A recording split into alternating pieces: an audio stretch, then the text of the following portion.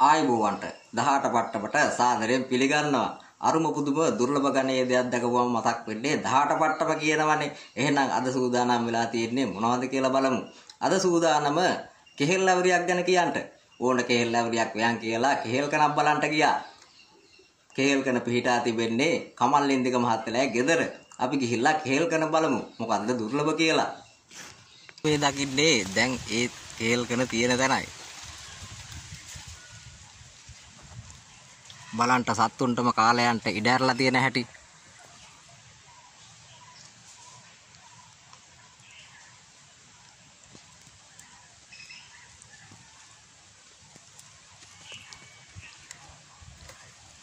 කෙහෙල් ගහ ගහේ තියද්දිම කෙහෙල් ගෙඩියක් කඩාන කන අද වගේ රටක කුරුල්ලන්ටම කන්ට ඇරලා ඉඩ දෙන අරුම පුදුම මහත්තයෙක් තමයි කමල්ලින්දික මහත්තයා කියන්නේ. එහෙනම් ආයුබෝවන්ට ටිකක් ඉන්ටකෝ